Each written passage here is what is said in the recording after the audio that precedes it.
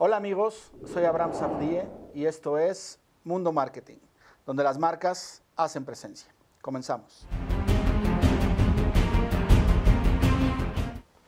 Hola, estamos con David Moeno, director de Relaciones Públicas de Huawei Latinoamérica. David, ¿cómo estás? Muy bien, Abraham, qué gusto estar aquí contigo. Muchas gracias por venir a platicar con nosotros.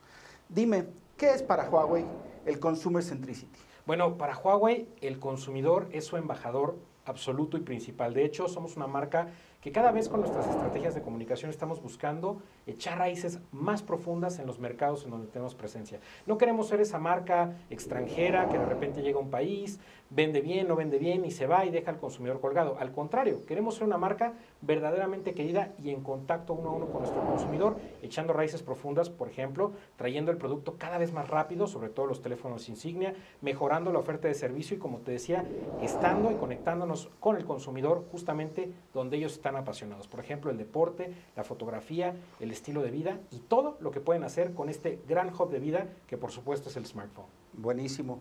¿Qué es lo que hoy le quieren transmitir a este consumidor? Bueno, queremos decirle al consumidor que Huawei es una marca icónica global de tecnología. No somos una empresa que está haciendo gimmicks en su teléfono para que se vean bonitos en una campaña de marketing. Al contrario, queremos, dar tecnología significativa, tecnología que va a ser una diferencia en el día a día y qué mejor muestra que resolverle los dolores de cabeza, los pain points al consumidor. Es verdaderamente vergonzoso a nivel industria que después de 10 años de que existen los smartphones, pues no han habido soluciones contundentes como por ejemplo con la vida de la batería, el performance a largo plazo y muy importante, que es uno de los puntos de contacto principales con el consumidor, la cámara.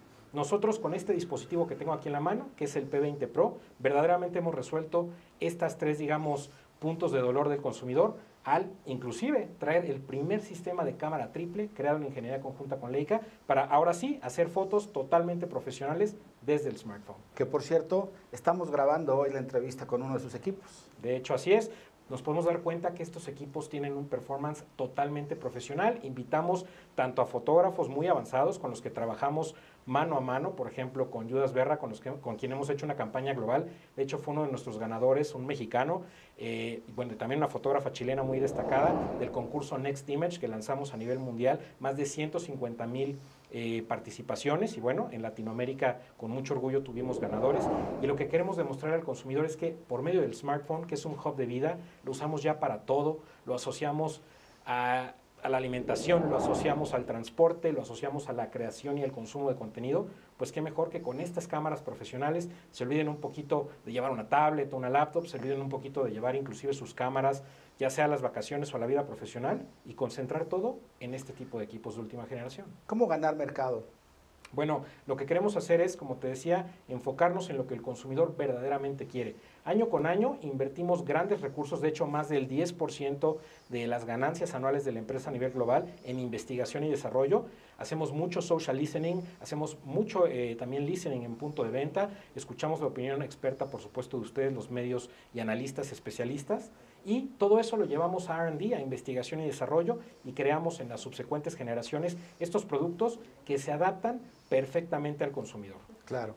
Hoy en día, escuchar al cliente o este customer voice que está, que está muy de moda es lo que va a llevar a las, a las empresas a tener esta diferenciación contra sus competidores. ¿Estás de acuerdo? Eso es lo que va a hacer toda la diferencia, porque de hecho nosotros nos debemos a los consumidores. Nosotros inclusive, aunque tenemos programas de patrocinios y de sponsorships y de ambassadorships con grandes estrellas, equipos deportivos alrededor del mundo, sabemos que no hay mejor embajador que el cliente final, el consumidor y por supuesto aquel que se enamora de un Huawei lo va a seguir recomendando. Claro, esta me parece que la recomendación hoy en día es lo que, pues lo que debemos de buscar en la parte de, en la parte de marketing.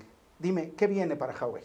Bueno, para Huawei lo que viene es un crecimiento, no nada más a nivel global, a nivel industria, eh, aún que la industria de los smartphones se ha un poquito desacelerado. Huawei es de los únicos que sigue creciendo. Tuvimos 14% de crecimiento en el Q1 de este año, comparado con otras marcas que se han quedado un poco estancadas. Lo que sigue es continuar creando tecnologías innovadoras, ser punta de lanza, por ejemplo, en la conversación de inteligencia artificial integrada a los productos de consumo y, de nuevo, siempre crear tecnologías, no gimmicks, que estén enfocados en que el teléfono se adapte y le dé más servicios al consumidor en su día a día. Buenísimo, David.